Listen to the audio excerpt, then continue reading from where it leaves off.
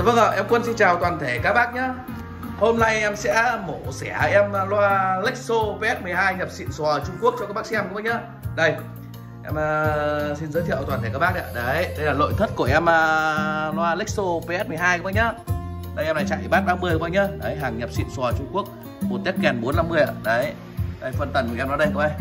Đấy, em quay các bác xem nhé Rất chi là hoành tá tràng luôn.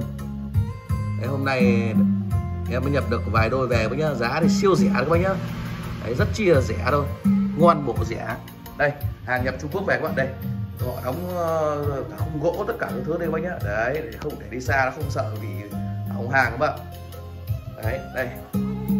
Đấy, để chép em nói này bạn này. Đấy hàng xịn xòa Trung Quốc luôn các bác nhá. Xịn xò Trung Quốc luôn. Đấy bát đây.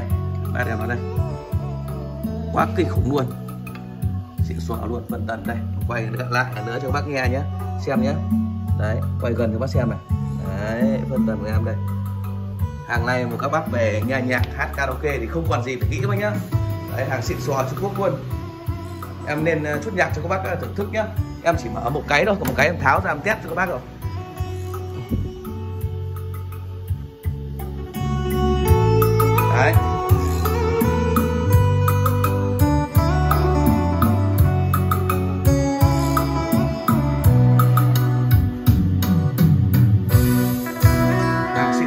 Luôn các nhá đấy. Không còn gì phải nghĩ ngợi nữa. Em tháo ra để quay nội thất cho các bác xem đây. Đấy, về bên em về được 10 đôi các bác nhá. 10 đôi để về là nó không gỗ nhất các thứ như này các này. Quá kinh khủng luôn. Mà giá siêu rẻ các nhá? Đấy. Giá của em này là có giá là 6 triệu 800k bao ship các bác nhá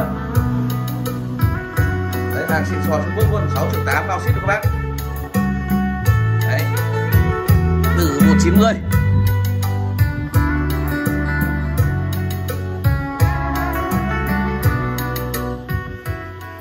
quá là ok rồi các bác nhá. Đấy các bác uh, đang xem video bên em thì cho em xin một like và đăng kênh các bác nhá. Đấy bác nào mà quan tâm đến uh, em loa Lexo PS12 hàng Trung Quốc này thì liên hệ với em Quân qua số điện thoại 0905 312 66 các bác nhá. Đấy hàng quá là ổn áp luôn, xịn xò luôn các bạn không còn gì để chê trách em nó rồi. Giá rất chi là ok, có 6 triệu 800k bao ship cho các bác mọi miền tổ quốc nhá. Vâng ạ, và em xin phép là kết thúc video tại đây ạ. Hẹn gặp lại các bác ở những video sau.